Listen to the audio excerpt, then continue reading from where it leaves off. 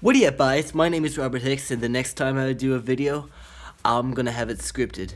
I'm getting tired of all my stuttering here, and every time I release a video. And that's it. Enough said.